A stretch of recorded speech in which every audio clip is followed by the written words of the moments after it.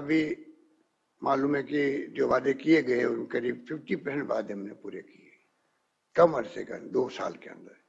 जबकि दो साल के अंदर छह साल महीने तो आपके बार बार कोड ऑफ़ कंडक्ट लागू हो जाते जब चुनाव जीत के आए थे, वादे किए थे, वो हमारी प्रायोरिटी रहेगी। और मुझे खुशी है कि उसी रूप में तमाम कलेक्टर से लगा करके आज ब्यूरोक्रेसी के पास में मैनिफेस्टो की कॉपी पहुँची।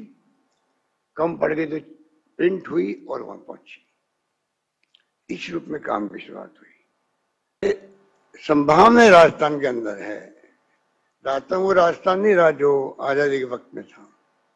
जहाँ सिर्फ़ तेरह मेगावाट बिजली बनती थी यहाँ पर। राजा महाराजाओं के महलों में टिमटिमाती थी। अब तो बाईस, तेईस हज़ार मेगावाट बिजली बन रही सोलर की क्रांति हो रही है। विंड का मैंने दो मेगावाट शुरू किया था, बीस साल पहले जैसलमेर के अंदर आज करीब साढ़े चार हज़ार मेगावाट बिजली बन रही है विंड से।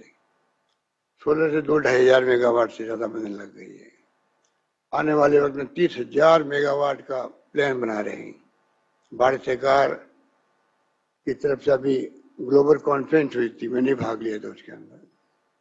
तो उम्मीद करते हैं कि आने वाले वक्त में सोलर पावर को लेके जो माहौल बन रहा है, उसका सबसे अधिक फ़ायदा मिलेगा देश के अंदर तो राजस्थान को मिलेगा।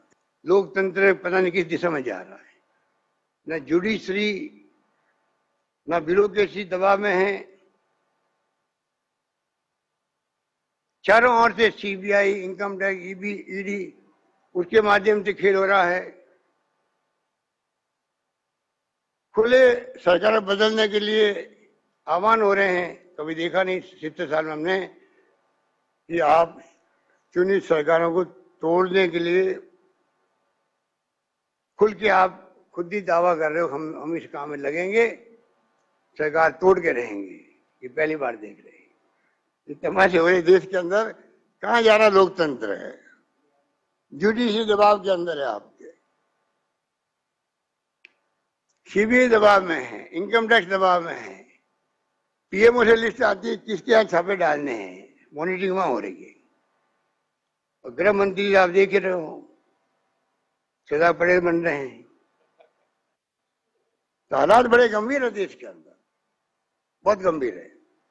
इसलिए हमें भी हमारा कल्चर अलग है। हमारा दिल बड़ा दिल हमारे कार्यकर्ताओं नेताओं का। हम कभी दुश्मनी तो आप सुन रहे थे मुख्यमंत्री अशोक गहलोत को। आ, अपनी सरकार के कामों को तो साथ ही बताया मुख्यमंत्री ने, लेकिन किस तरह से सरकार को अस्थिर करने की कोशिश की गई पिछले दिनों, वो भी, वो बताते हुए नज़र आए और साथ ही निशाना भी विरोधियों के ऊपर मुख्यमंत्री अशोक गहलोत की ओर से साधा गया। और उन्होंने कहा कि किस तरह से जो एक सरकार चुनी हुई जनता की, उसको असर करने की कोशिश की गई, गिराने की कोशिश की गई, और इस बात को सार्वजनिक तौर पर कहा गया। तो इसका भी विरोध मुख्यमंत्री अशोक गहलोत की ओर से यहाँ पर किया गया है।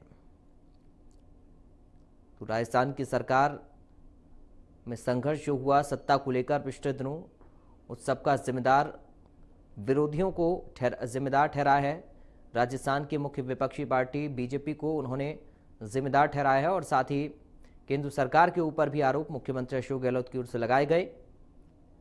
और साफ़ तौर पर यह कहा गया है कि सरकार को अस्थिर करने की कोशिश की गई। सत्ता का जो संघर्ष हुआ, वो साजिश थी, एक साजिश के तहत। ये सब राजस्थान की सरकार को गिराने के लिए, राजस्थान की सरकार को अस्थिर करने के लिए किया गया।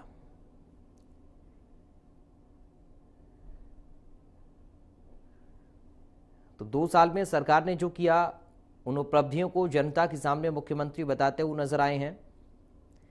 और आज के दिन भी कई बड़ी सौगातें मुख्यमंत्री अशोक गहलोत की ओर से दी गई हैं।